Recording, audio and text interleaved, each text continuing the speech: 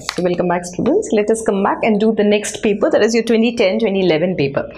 So in this particular paper, uh, as what what are you finding compared to your 2017-2010 paper? Only differences uh, in 28, 2008, 9, 10, 11 till 12 paper, all they've asked you about the structures of structural differences. They've asked you uh, regarding uh, your comparisons, comparative study. Uh, later on in 2012, 13, in, that- in that papers, they have directly asked you what is this definition, what is that. When you've come to 2017 paper, they've asked you a value-based question, correct? So that value-based question, they've asked you to, I've given you four questions to solve. So okay, let us come back and see what is meant by the following peptide linkage. I just now did maybe in the previous year paper, I've done this peptide linkage. Please go to that question. They've asked you what is pyranose structure, right? So when I say, whenever you hear pyranose structure, right? Your first uh, concentration should go to the structure of glucose. We very very well know pyranose structure is a cyclic structure, right? It is. It is okay. If I will write like this, it is a structural representation. Structural representation shown by shown by uh, six membered. Okay six membered six membered carbon compounds. Six membered carbon compounds like glucose. Correct? Six member carbon compounds like glucose. Now when you are uh, writing uh, the particular thing so you should also write in that pyranose structure what do you have. You have two important things. You have five carbon atoms and one oxygen atom correct? Right. So you're going to write it has five carbon atoms and one oxygen atom this is what is your structure. So how was your pyranose structure? Let us write that pyranose structure. So i've written this here. So let us write pyranose so this is your six membered ring. Let me see whether i've written this correctly or not. Your ring oxygen linked. Correct? Now this is one two three four five and your six. Now in the first pyranose ring you have your hydrogen oxygen. If i am taking the alpha structure of glucose. In the second carbon you have h and oh in the third one you have oh and h. In the fourth one again uh, it forms a ring we said. So h and h. Now in the fifth one you have h and ch2oh this is what is your pyranose ring. Let me count how many carbons does it have? One, two, three, four, correct? Five. And I, if I have to write, this is the fifth carbon, this is sixth carbon. So how many should I write? It has six carbon So what what have you should change? You have six carbon atoms, correct? This is one carbon, this is second carbon, third carbon, fourth carbon, now fifth carbon, and this is sixth carbon. Now, what is the change here? We very we already said in your uh, uh, pyranose structure there's a cyclic thing formed with the fifth carbon isn't it? Right? So when it forms a cyclic ring with the fifth carbon what should i count? Should i count six carbons of five carbons? No. I first one which i wrote is correct. You should also count only count five carbons because your glucose molecule 3 4 5 6 correct? So here what happened? In the fifth carbon it forms a cyclic structure. This is like this. So what happens? Now this condenses. This becomes the 1 2 3 4 5 and 6 correct? So that condenses so i'm writing five carbons and one oxygen. So simple. Write this. Write this structure and finish off this. Yes. Now next question is write the products of hydrolysis of sucrose and lactose. So i've already made a video for sucrose and lactose hydrolysis. Remember that please. Go through the video of hydrolysis of sucrose and lactose. I'll not be repeating this question again. Yes let us come back to the third question. What did they give me? This is the most important question i feel in your biomolecules chapter so they have given me one question where this will relate your reactions of glucose.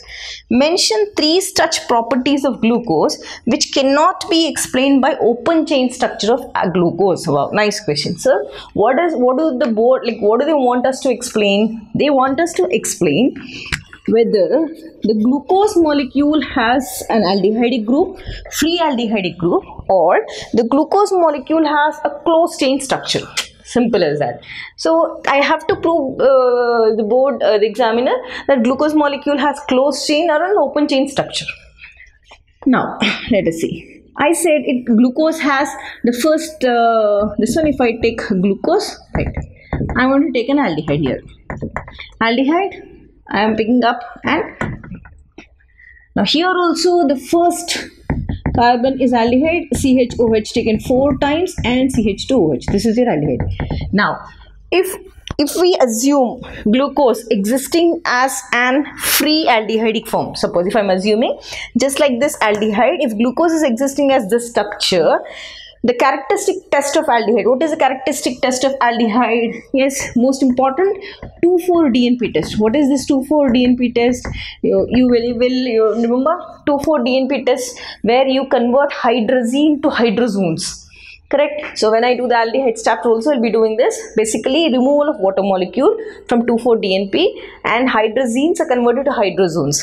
That is a characteristic test of aldehydes only.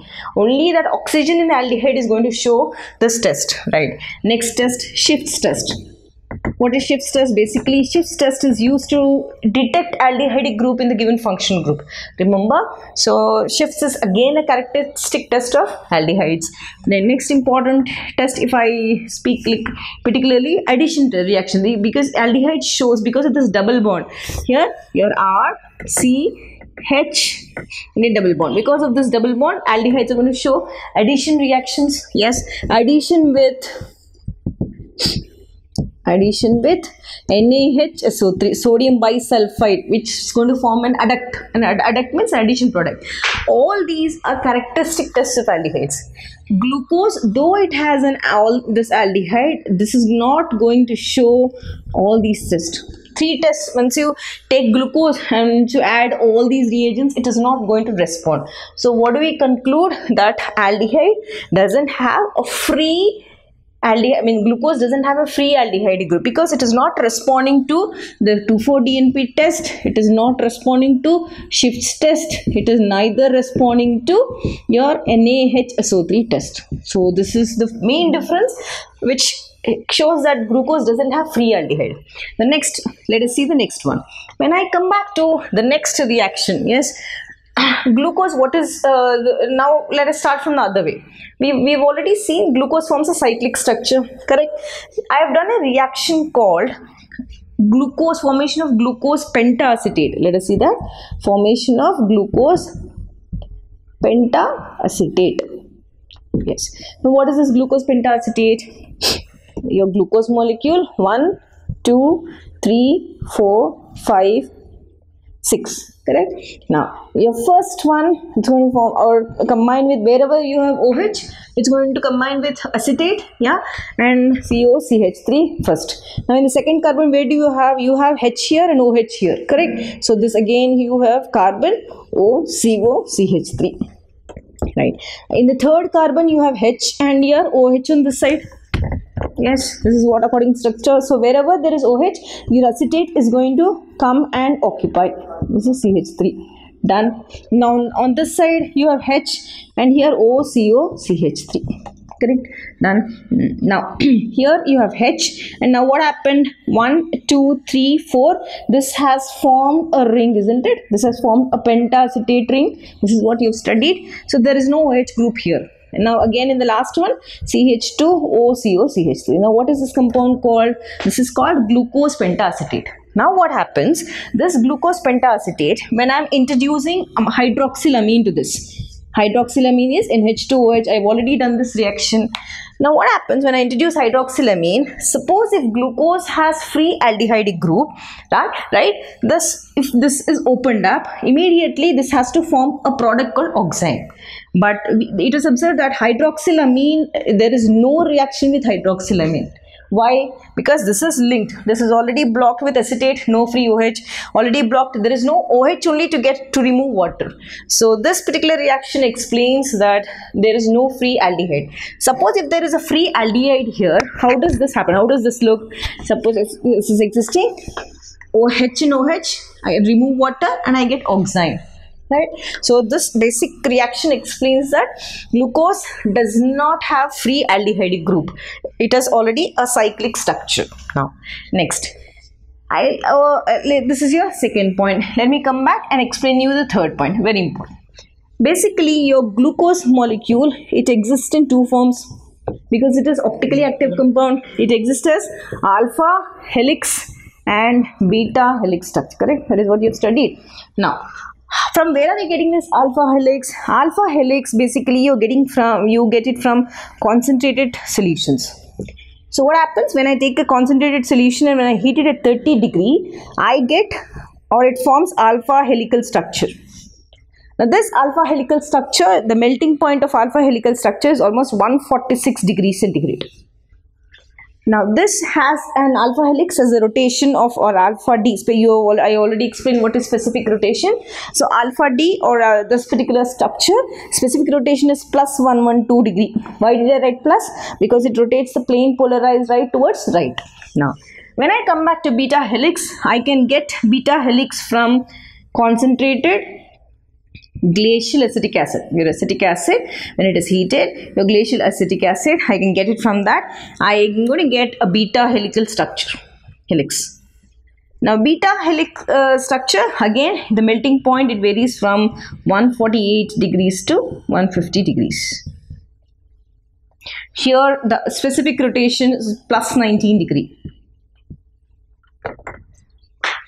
so what are we trying to explain? Because of that cyclic structure present it is not responding because in cyclic structure in way because of the cyclic aldehyde group present it is not responding to the characteristic test of aldehydes ruled out because of this cyclic structure it is not reacting with hydroxylamine ruled out. Because of the cyclic structure it is existing in two forms that is alpha and beta and this is what is your structure. This, this is going to show optical rotation isn't it? The I video also was done on this. Please watch that. So this particular question very very important question. Please note it. Uh, the same question will be repeated. Reactions which are shown not shown by the open molecule